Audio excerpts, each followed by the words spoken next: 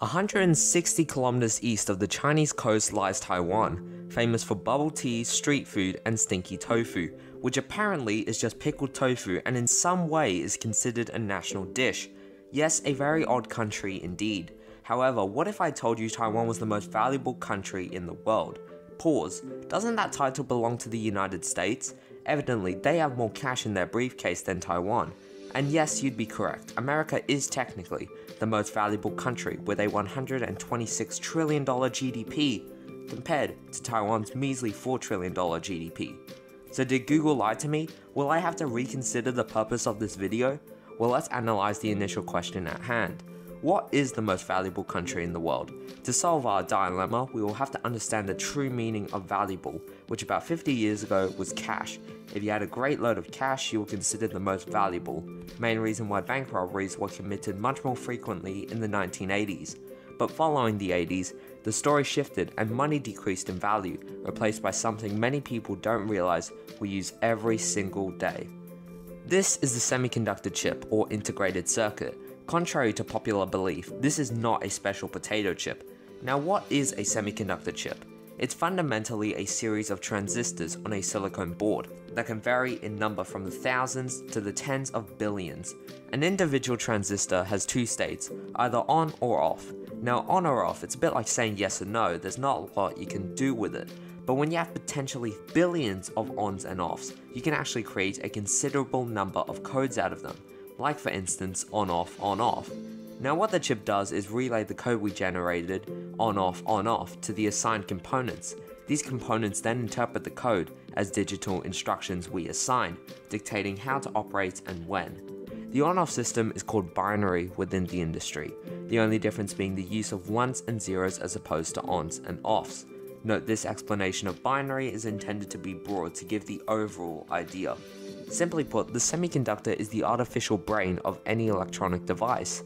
It is essential to ensure, for example, a car's engine works in conjunction with the accelerator, and the brakes to the brake pedal.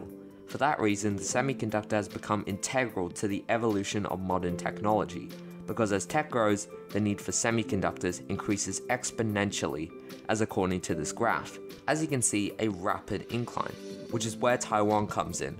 Incredibly, they manufacture 84% of semiconductors, and oddly enough, it all comes from only one company, TSMC. Taiwan Semiconductor Manufacturing Company Limited is a Taiwanese IT company established in 1987 that has a few rivals like Intel, Nvidia, and Samsung. So why haven't they dominated the market in the sheer numbers TSMC has done so? It's not necessarily because their chips are worse, in fact Intel's chips pack more transistors in than a TSMC chip. In the industry, there are two types of companies designing companies called fabless companies and manufacturing companies called foundries. But there is, of course, a third category TSMC fits into, which have the resources to both manufacture and design their chips.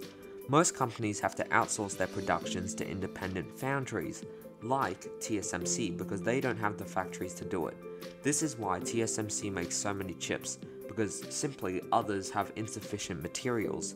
It saves them money from building the new fabrication plants and other necessary things to manufacture the chips, and gives TSMC funding. It's a win-win situation.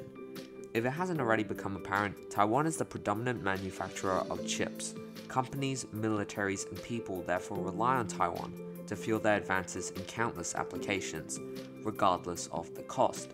Our dependence has grown so substantial that losing Taiwan would be a global catastrophe.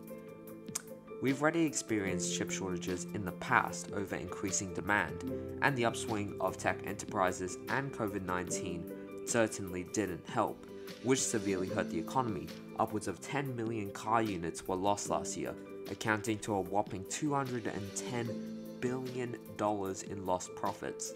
Some things have been done to ease our reliance on the island nation. America, for example, has started building its own chips, and China has begun designing semiconductors. For now, these projects remain small, and until one of these materialize, this is why Taiwan is the most valuable country on earth. Thanks for watching guys, see you next time.